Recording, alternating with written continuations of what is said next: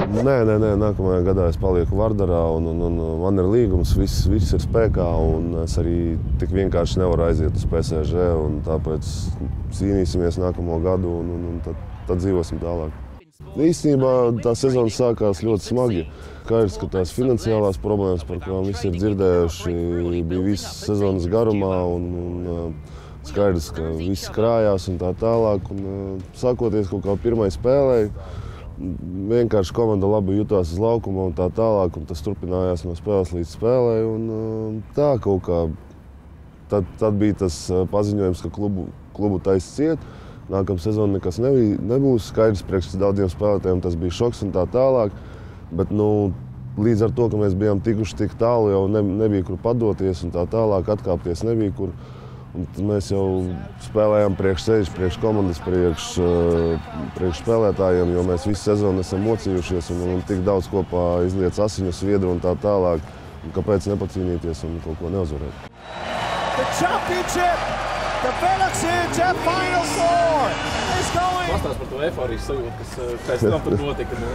Es nevaru paskaidrot. Vienkārši tas ir cilvēks skrien bļā un vienkārši gribi kaut ko pateikt, bet tu nezini ko. Jā, tas ir tāds moments, kuru gribētos vienkārši biežāk izjust, bet nu, es nezinu, grūti to izskaidrot. Ar vienkārši nu, prieks un, un, un Tev vienkārši minūtes laikā paskrien visu sezonu garām, cik esi mocījies. Un, un, un katrs, katrs treniņš, katra svāru zāle, katrs sitiens, viss, viss lien ārā. Un tu saproti, cik tu esi ieguldījis un, un, un re, kur ir tā atmaksa.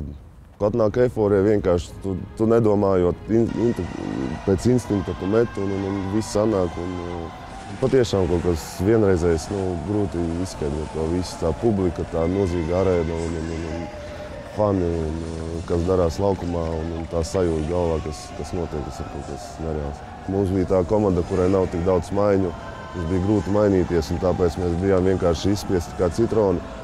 Un uh, vienkārši es zinu, ka es kaut kad no rīta mēs novēlāmies gultā un, un viss, jo patiešām es saku, uh, vēl plus visas svinības un tā tālāk, un uh, vienkārši nogāzāmies un viss.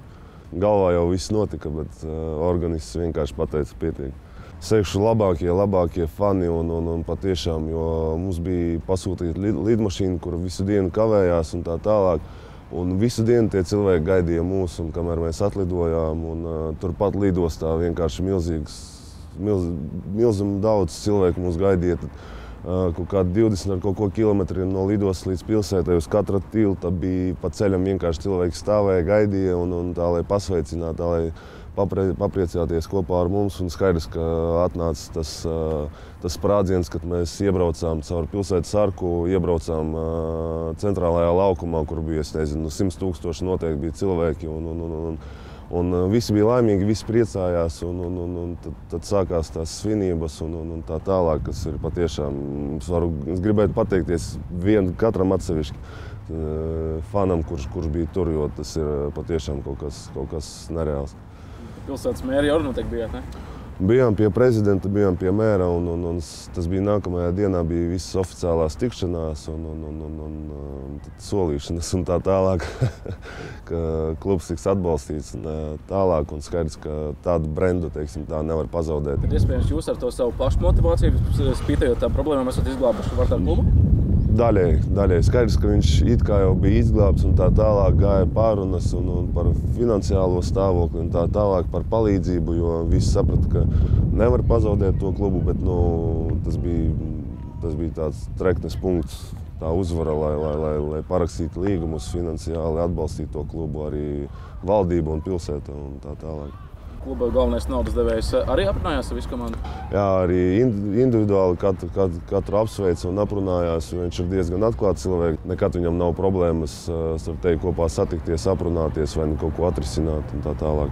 Cik reizes sezonā bija tā, ka viņš ienāca iekšā un pateica, veči, piedodiet, šomēnes naudas nebūs? Uh, nebija, bet pēc tam bija liela tikšanās, kur viņš pa vienam sauca uz tikšanos spēlētājus un skaidroja situāciju un tā tālāk. Jo, Jo, kā jau saku, viņam arī ir kauns un, un, un slikti, slikti jūtās un, un, un atbildība pret spēlētājiem. Bet, nu, ja tās problēmas ir un tā tālāk, nu, skaidrs, arī viņu var saprast savā ziņā. Dan tu uz Final Four aizbrauc ar tādiem īpašiem uh, apaviem. Uh, jā, viens džeks uzrakstīja, kurš nodarbojas ar to, vai, vai nevar man uztaisīt apavus, jo, jo domā, ka es kaut kā izceļos komandā un tā tālāk, un, un, un vai es negribētu pamēģināt. Jā, protams, piekrītu, kāpēc ne. Un, un, un, un es labprāt atstāju tā cilvēka viedokli un, un, un viņa fantāziju, tā, tā lai tas ir saistīts ar klubu un, un kaut kā nedaudz kopā ar mani un Latviju. Tāpēc bija neliels karodziņš ar, ar, ar, ar, ar vārdu, ar numuru. Un, un, un Viss pārējais bija veltīts klubam. Nākamais solis ir īstais līgums ar Nike, lai tu izlaiž tavu, tavu sēriju. Cerēsim. Ir kaut kādas tādas runas bijušas kādiem ražotājiem vispār? Uh, ir bijušas, bet uh, bija vienkārši par, sponsors, par sponsoriem tā tālāk. Bet, nu, līdz ar to es esmu Maķedonijā, tā nav Eiropas Savienības valsts. Viņiem ir grūti strādāt ar to. Un, un, un viņu, viņu tirgus ir nu, ierobežots tādās valstīs, tāpēc visu to atstājam uz nākotni. Atlicis vēl pēdējais darbiņš. Kāds ir tas pēdējais darbiņš? Uh, pēdējais darbiņš uz Eiropas čempionātu tikt ar izlasi. Un, un, un, un tagad, tagad ir smaga nedēļa, kurā labi jāpastrādā un tad redzēsim. Es tikai baidos, vai nav kaut kāds ār, no ārpuses kaut kāds spiediens, jo, jo būs smagi tāpat mēs visi saprotam un galvās mums stāv iekšā. Mēs esam ļoti tuvu un vienreiz mēs jau esam apdedzinājušies. Un, un, un, un es ceru, ka nebūs nekāds stress. Vienkārši Džeki izies par savām ģimenēm, par savu valsti un, un, un nocīnīsies un, un, un viss būs labi.